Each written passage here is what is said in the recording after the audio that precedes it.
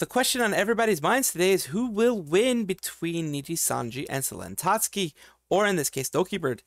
We have legal mindset here who went through every single step, making sure to dot his I's and cross his T's, so to speak. He was legal counsel before for a corporation, as far as I know, and he has a lot to say. Let's listen in. A legal nightmare as corporate counsel. Like you know, I, people know me from doing uh, representing special districts as well. You know, I did that when I was younger. When I was uh, younger, as a younger attorney in Florida, representing Reedy Creek, which is why I covered the Disney. So he knows what but he's doing. On, I was corporate counsel for a very large corporation. We would never post a notice of contract termination publicly. This this is insane, right? This goes to her lawyer. This goes to her, right? That's about it. Well, here's the kicker it didn't even go to her. She did not find out that she was terminated until a friend of hers messaged her and said, "Hey, you know what what's going on? You know, I just got this thing about you getting terminated." And it just, you know, I mean, imagine like finding out that you got fired from somebody messaging you. What they're saying here is, okay, we terminated That is exactly what happened. That is exactly what happened with Selen Tatsuki slash Dokibird. And that's the big Selen, issue. I am going to summarize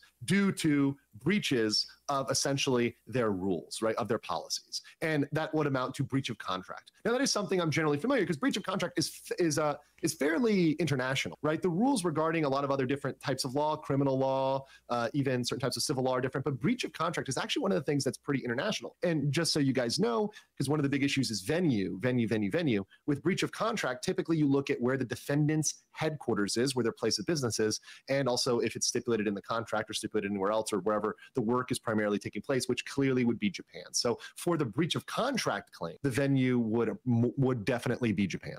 But that does not preclude Selen slash Dokibird from bringing other claims in Canada that are not available in Japan. But that's what I've been saying before that she can absolutely bring things in Canada. I think it's PIPEDA or something like that is the HIPAA type of regulation that Canada has that she can actually use against them. But yeah, she would absolutely have to go into Japanese court, which is uh kind of one-sided it seems like it seems like sided a little bit more towards corporations so it's kind of harder to do it over there and the fact that she's she's a foreigner makes it harder on her even well. here guys what they've said is already pretty defamatory if it's not true and there's some of this that even with what we've the the facts that I've seen so far appears may not be true, right? So and and once again, guys, a lot of I know a lot of what's out there is like speculation, right, Gator? Um, right. Certainly, there's a ton of speculation out, but it seems like if we talk about the this line here, which I would be concerned with, infringement on third party property rights. My understanding, Gator, and correct me if I'm wrong, is that she in reality did not violate anybody's copyright or IP laws. That that she had permissions for everything that she right. She, she even reached out to the original author of the song that she used, Lily Pichu, and got her explicit permission and was actually working behind the scenes trying to get management to just kind of give the okay and reach out to these people. They didn't do it. So on her own behalf, she went and talked to these people and got the permission to use all of the assets, to use all of the art, to use the song. Factually, so that's what we know about now. We know that that's exactly what she did. She went, she got permissions from Lily Pichu, from the producer, from the people who created the music and did everything. And then she, you know, was like, "Here, I did this for you. I did your work for you. Please, can you accept this?" And the information they're talking is information that was exchanged between lawyers into the company. There was no threat of doxing. There was no threat of public exposure. And of course, this is talking about the famous, now famous, infamous, uh, Elira, Vox, and Ike uh, video. Right. There was no, as far as we know, right? I've not seen any proof of that at all whatsoever, right? Um, at all. If anything, uh, I think probably Selen has more reason to be worried about doxing than the Niji Sanji uh, livers, like these three uh, Niji Sanji livers, because they clearly don't give a shit about personal information. They're just passing it around and not really caring who they get, who they give it to. If she has emails, text for you. That's the thing. It, it's Niji Sanji didn't seem to care of who they were giving the information to. They said pretty much in their response that they could give the information to whoever they wanted within the organization. Almost pretty much is what they were saying.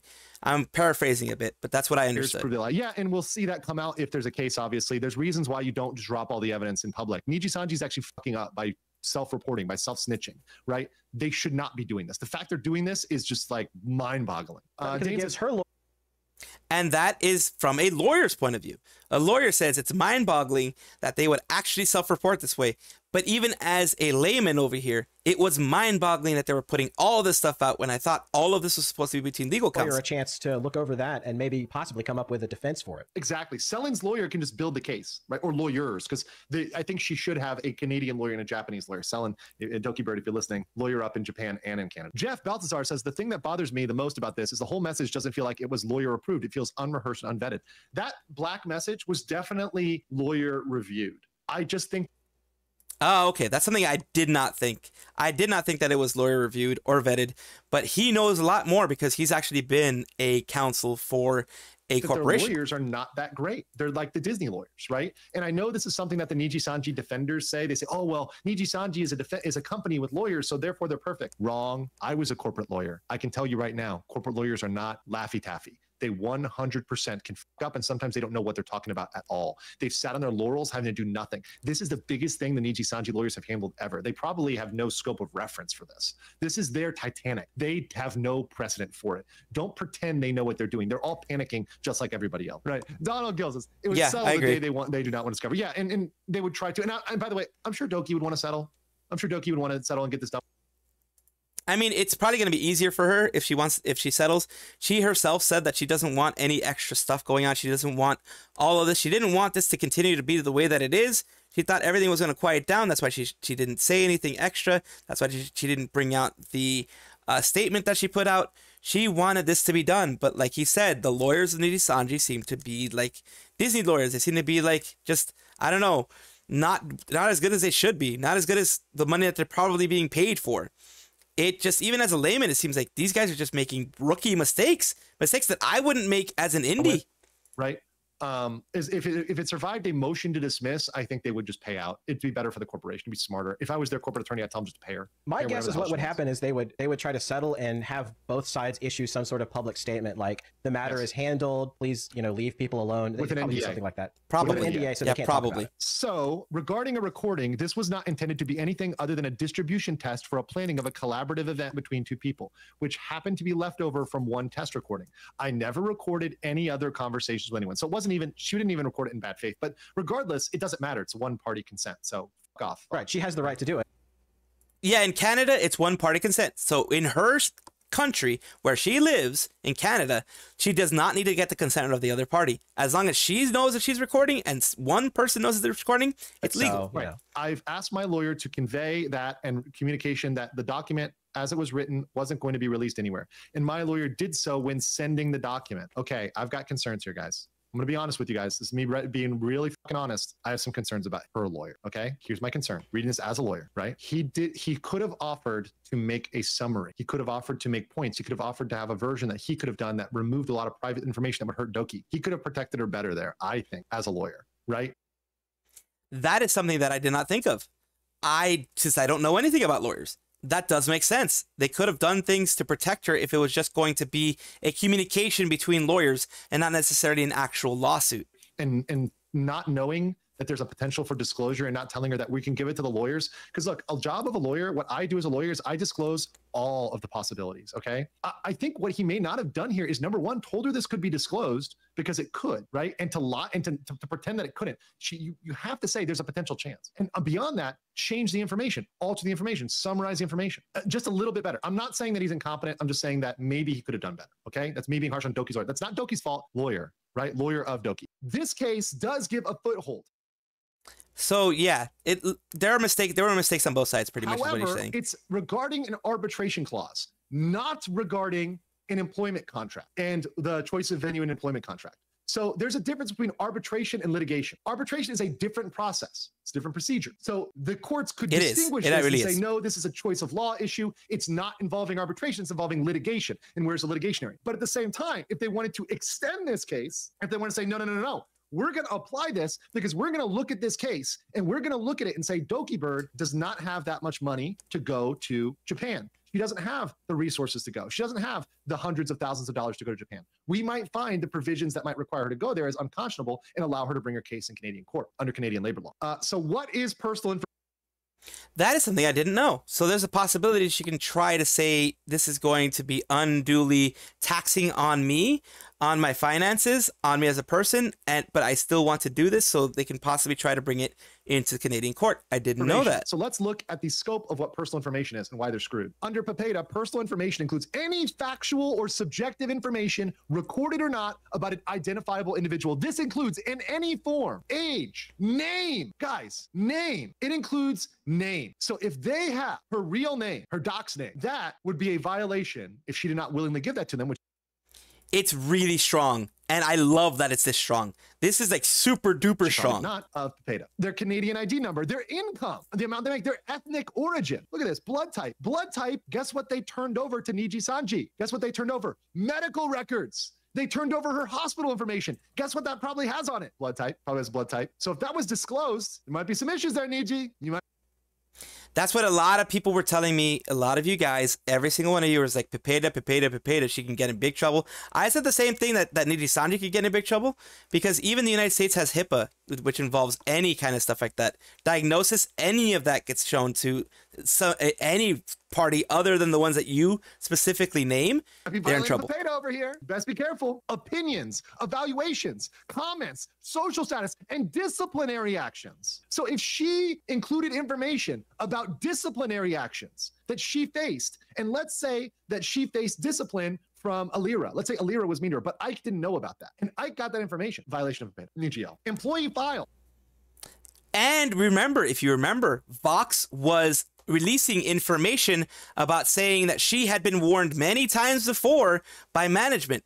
They released that information against PIPEDA because he mentioned in that, if I am not mistaken, correct me if I'm wrong in the comments down below, that she had been uh, marked by management and had been warned by management many times before. Credit records, loan records, medical records, medical records. Uh oh, that's what she sent over. Existence of a dispute between a consumer and a merchant. Intentions such as attempt to acquire goods and services. How about the all the uh, intentions to create her products, to pay her suppliers? This is all PIPEDA stuff. PIPEDA does not specify the minimum level of connection that a company must have with Canada in order to be subject to its provisions. Let me read that again. PIPEDA does not have a minimum connection with Canada. There's no requirement of a minimum connection. There's no language which limits its application to business with a physical presence in Canada, nor are its provisions explicitly limited to personal information collection, use, or distribution solely occurring within Canada. Furthermore, the Act of Parliament was intended to protect personal information in cyberspace and e-commerce commerce. Got him. Got him, baby. With PIPEDA, you got him. E-commerce. That's what she was. You could say that she was doing that because she was in Canada as she was working with a Japanese company. They're still under PIPEDA according to this law.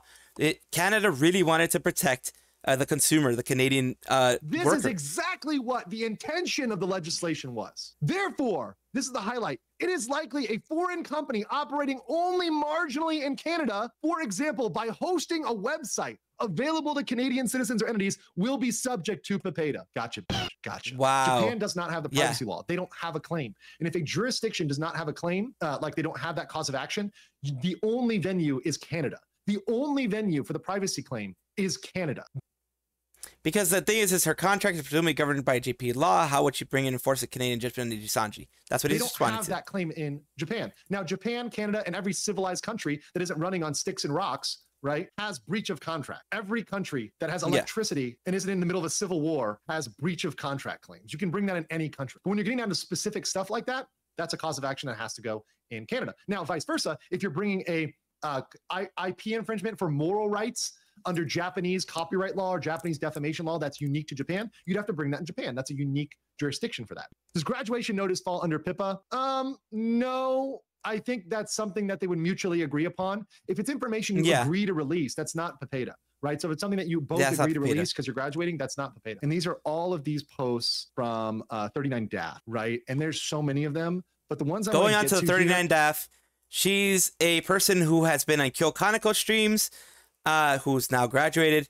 Uh, she was on, uh, I think, Elira's or Enna's streams as well. She was on a bunch of other people's streams. She's basically a Nijisanji orbiter, Nijisanji ally. legal comments right? Because there's some legal comments in here that are just so wrong that I cannot not refute them because they're so bad, it's ridiculous. She talks about okay, she's talking about the three people volunteered, said they disagree with comments, assume each person got different documents. Well, no, they, I mean, Vox said he reviewed everything. So he got most Yeah, of the documents. exactly. It seems like. She goes, the tweets Niji said, because if you want to sue for harassment, you already built a case and have documented proof of this exact harassment from specific people. Not true. Not true. That- if you are that's suing exactly for what I said. harassment, you can get discovery. In lawsuits, there's something called discovery. Discovery is when you subpoena, when you deposition, when you request information, you get emails, you get text messages, you get all that goodies, all those good DMs. By the way, your Discord can probably be a record as well, particularly if it's public. And this, that's the one thing I would warn you guys is that increasingly social media, other stuff is becoming used in court. Uh, the standards are becoming more and more and more and more open towards the entry of social media.